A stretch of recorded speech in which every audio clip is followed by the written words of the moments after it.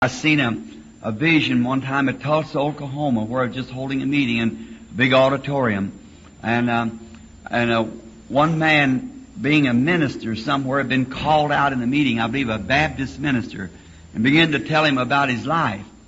And one of the local sponsoring pastors called this man up and asked him, "Was that so? Did you ever know Brother Ram?" Not knowing it, I know all about it in my hotel room. See, but uh, and that I, after the Lord had revealed to me that what He had done, well then uh, uh, I looked and there's one of the men that went down and said, "Now, Brother Branham, when he's under the anointing, is a servant of the Lord, but his theology is no good." Said he's a prophet when the anointing is up on him, but said when the anointing's off of him, said, "Oh, his theology is no good."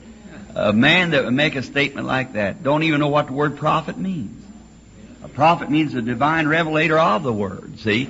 And these signs are a vindication that that's what is the truth.